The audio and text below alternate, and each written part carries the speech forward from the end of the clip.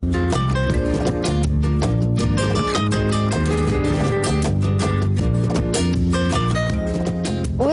مشاهدينا الكرام مره ثانية بعد الفاصل. قبل الفاصل عملنا الأرز آه، الريزو إحنا قدمناه.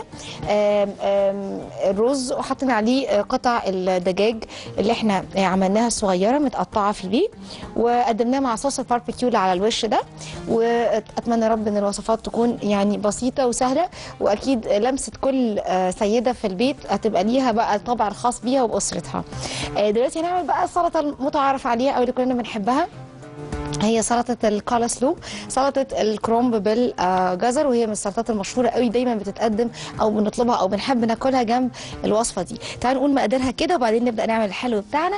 عندي كالسلو كرومب أبيض مفروم ناعم. على حسب تحبوا تعملوه في الكبة تحبوا تقطعوه بالسكينة تحبوا تخلوه رفيع قوي رقيق أو أتخن شوية براحتكم.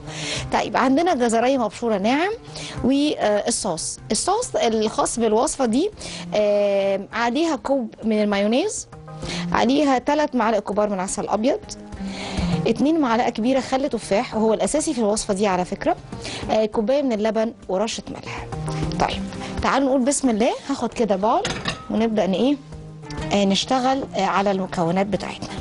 آه أول حاجة هنعمل ال ال ال الصوص نفسه وبعدين ننزل فيه الايه آه الكرومب والجزر مع بعض. طبعا نسبة الجزر زي ما حضراتكم تحبوا زي ما أنتوا عاوزين. عايزينها كتير عايزينه قليل مش عايزينه خالص زي ما تحبوا. طيب هعمل كده. حاضر. كده. بسم الله. ناخد كده كوب المايونيز. طبعا اتفقنا إن إحنا المايونيز عملناه قبل كده وعملناه من غير بيض. وإيه؟ آه، جميل جدا لما بيتعمل في البيت. عندي خل التفاح. مش كتير.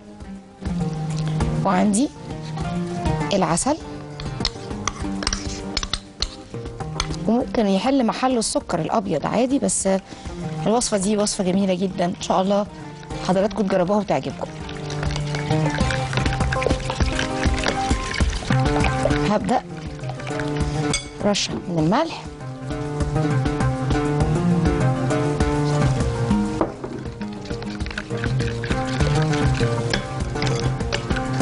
وعندي هبدأ أنزل بالكرومب على حسب أنتوا حابين النسبة والتناسب قد إيه. اهو. وآدي الجزر. نجرب كده نشوف النسبة دي قد إيه. تعالوا نقلب كده مع بعض. هنا. الأول هضيف شوية لبن.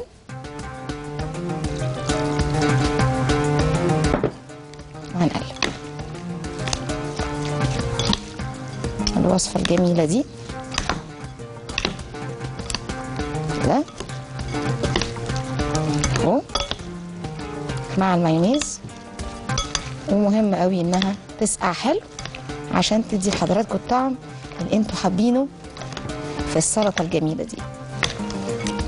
تبقى كده جوسي وحلوة.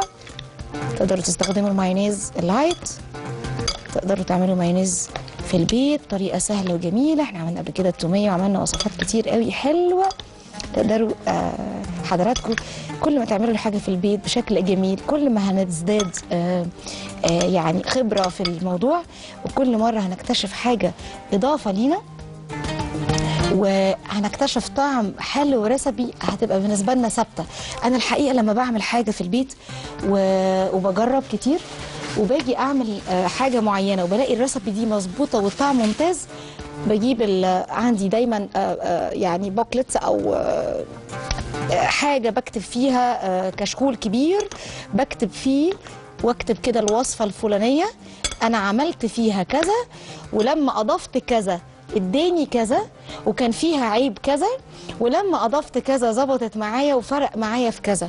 عشان لما آجي أعملها مع حضراتكم أبقى أنا عرفت حتى ما بقاش نسيت. الطبيعي ممكن ننسى غصب عننا. أبقى عارفة إيه الديفوهات اللي كانت في الوصفة دي أتلاشاها أو أذكرها لحضراتكم عشان ما, تقعوش فيها فتتجنبوها. دي آه، حاجة مش عيب إن إحنا ندون آه، الحاجات دي. وطبعا عندي طبعا أكيد حاجات كتير من أيام زمان بقى من حاجات آه، مامتي خدت منها وصفات كتير وبيضتها من أيام ما كانت ال- الوصفة أو المقادير بالرطل ما كانش بيتقال عليهم يعني كيلوات زي دلوقتي والحاجات دي.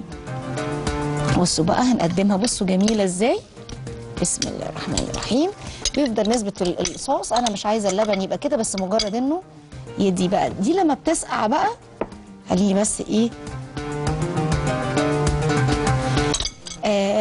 أشيل كده الكام ورقة آه، كابج اللي وقعوا دول. آه، دي لما بتسقع بقى بتبقى رائعة. تاكلوها وتستمتعوا بيها وبطعمها.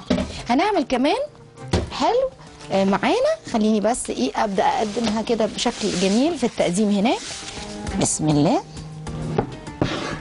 دي سلطة الكالسلو هنبدأ بقى ممكن نجمل كده إيه الحروف هنا شوية كده من الجزر من فوق.